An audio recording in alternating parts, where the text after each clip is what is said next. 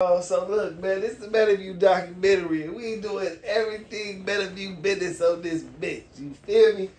So today, we gonna be reviewing the Mark Sanders interview. And if you don't know who Mark Sanders is, Mark Sanders killed Badilliack. He just recently got out for killing Badilliack, and he's telling his story. So he kind of out right now. He from Oak Park, kind of like showing you where the beef all first started at against Meadowview and Oak Park. You know, he basically the dude that killed one of the originators of Meadowview. So you know, this is him getting on camera bragging about what he did or trying not to talk about it. But take check man, check this shit out because it's a lot of lessons in here, and it's a lot of shit I'm gonna point out to you, man, as we watch this. I'm gonna give you my live review though. So, yeah. Was a was a was a was a stabbing. I got one of my first. I got one of my first. stabbings. Hold on, he bragging about he bragging about his stabbing. Hey man, this shit is a trip. You look at these dudes, man. You obviously see they in their sixties. The first thing I want to say to everybody is, do you think there's Asians, Indians, any culture in the world who's men this old talking about bullshit like this? Like you gotta look at what you put your youth around and influence them with. If you expect them to be anything but this type of shit, you feel me? This this this is small ridiculous, ignorant. And you see what type of niggas these is because you see this they big homie. This if your big homie is slow and ignorant and negative, you're gonna be like that too. I was very, a very violent individual, and I ran with very violent individuals.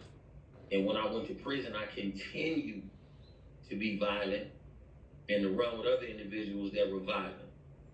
And uh, you know, I don't want, I, ain't- I ain't glorifying it. I, don't- I don't want to, you know what I mean? That you are. thing more than what it is. But what it is with me, it, it is what, What it is. is. Bro, uh, I- I- I listen, bro, this bro, do y'all see the IQ of these niggas? What it is is what it is, what it is.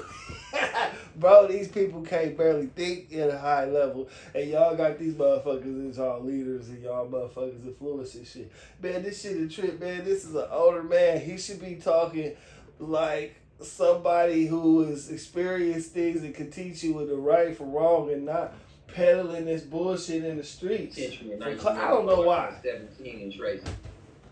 And I was embraced by Wendell Sanders from the Heights, Name is Board Damu Joker. One of my Jama, one of my Jama mentors. I was there with Shabazz, aka Willie Wagner. I was there with Robert here. Now let's stop. Jama, right, Kumi, those is all branches of the BGF family. If you BGF, that's basically a Bay Area black, you know, prison gang. You're not Bloods. You're not. You're not UBN. You're not with rocking and pushing the bloodline. And you're in the Jama. you're basically saying you a brother. You a black man. You with everybody. So I mean, the story kind of already wishy washy with me. If you from SAC, you already know you a Damu. You got to go in that prison and really rep some shit. You see what I'm saying? If not, they gonna think you a bitch ass nigga trying to hide under other niggas' umbrellas and shit. But back in the day, you had to do that because it was a lot I of oh, was there niggas. with Jesse out the Heights. I was with J Mac, King Humphrey out the high. And they all, I was all they little homie and knew I was a fool. I was there with Jimmy Mack. You understand me? I was watch my this. cousin John Earl, my uncle JB, all at the same time. You know? And uh, GP was asking me one of my first incidents. One of my first incidents in Tracy was a was a was a was a stabbing. I got one of my first. I got one of my first stabbings in Tracy. How old was you? Oh, Seventeen. Tell us about that, man. 17 years old.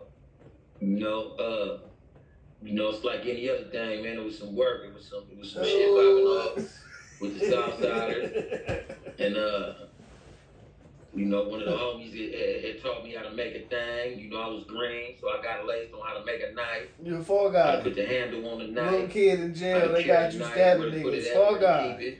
But how he tell it? it. Michael Everett, the homie old man, taught me how to do that. You know, you Michael- a Hey, you How bring this a bad knife day. for Come here, little nigga. Yeah, Nigga, come on, bro. They turning these motherfuckers into doctors and rocket scientists, builders, architects, and these niggas really around here telling you how to make a knife, put in your ass. So you know, on some things like that, be kind of quick. But I'm sure they want to know. Quick, real quick. Back then, we made knives out of flat pieces of metal, sharpened on both sides using Ajax and baby oil, used on the concrete, sharpening on both sides. Ten on ten on this side, flip it ten on that side, till you get a point that like a Christmas tree, double edged knife, flat piece of metal. We call them flats. You know, some six, some nine inches long, seven inches long, six inches long, but that's mostly what I was taught to make. I wasn't taught to make crib knives. Right, you wasn't you built. wasn't taught to build fences, you wasn't taught to fix and- and cabinets, you wasn't taught no That- that- my- my carpentry, you was you was me that. I taught to big make knives and shit out of metal and shit. by Wayusi Gai Jama, who taught me how to make weapons. Boards out joke by You also You sat in prison for a bunch of years and learned nothing that your how do you culture and community could do. Huh? Taught me how to carry, how to use it and how to carry. I had to study anatomy charts when I was in the cell. I had to study anatomy charts that of and be human taught on how to kill niggas. tell me where the I- one I- nigga. Always on the left side. Always on the left, on the nigga. left chest. On the left side of the body is where all the major organs is at. Yeah, man, you know what I'm talking about? I can't save a motherfucker. I can't grow my own food. I don't know nothing about credit. You know what I'm saying? Real estate. You know what I'm saying? I can't heal a motherfucking wound, but I, I think I think I stab you on the left side, nigga. Wait, I man, I'm done. with Predatory this shit. individual did not rehabilitate me at all. Didn't at. Just made just I, I just was worse was, became a worser individual. That's what it a was. worser. School. So, so, so they sent you to prison before you was even 18. You uh, you went to uh, you got locked up when you were 16, right? Dang. Kid Tracy at six turned seventeen up there. So that it was either two ways it was gonna happen. You was either gonna either get So basically, what he's saying is he caught a case when he was a teenager. So they was holding his ass because he was a troublemaker as a child. And then when they turned eighteen, they shipped his ass to prison. No, he didn't. He wasn't in prison as a child. He was turned 17, 18, was already in Tracy. That was gladiator school, girls' school, where they basically was like they was a, it was a YA for kids, for teenagers, trouble, real criminal adults that all they did was make them worse. This nigga ain't. I hate when niggas get on here and tell their story and don't even tell you the truth or ain't gonna tell you the facts. What you talking for? Why you want to be out out here for? Let's just get to the point. You killed Battle Act, right? That's what you did. You feel me? You snuck in his house.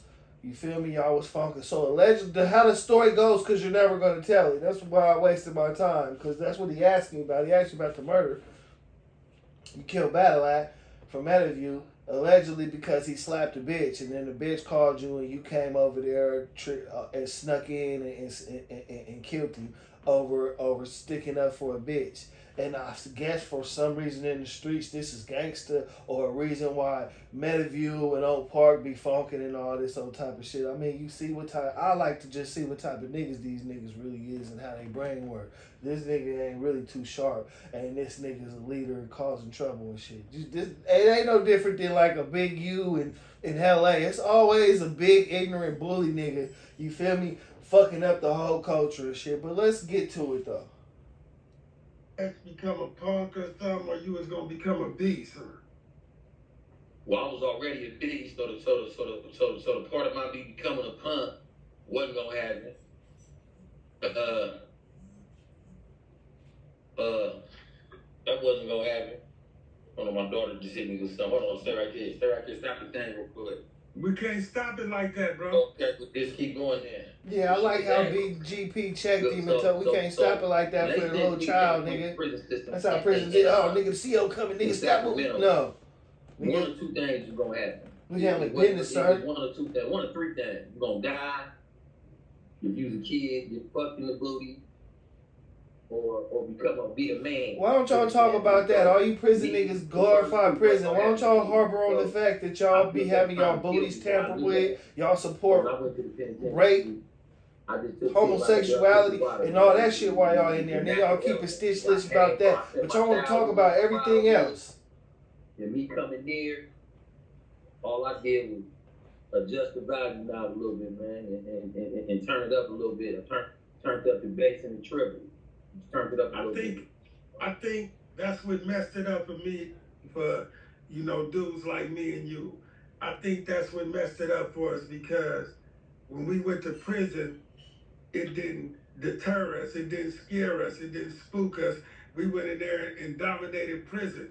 So it was just the Yeah. nature of being who we is, so it didn't mess us up. So that's why we didn't have no problem coming back because in there we ran it just like we was on the street. Yeah, it was just another another part of the game.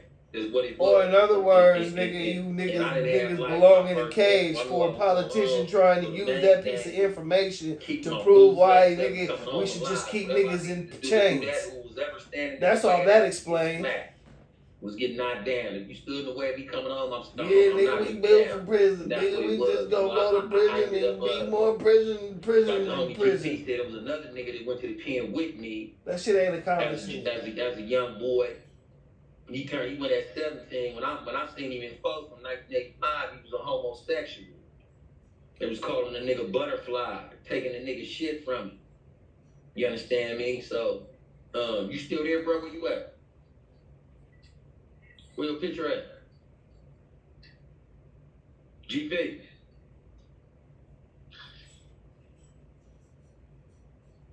Where you at?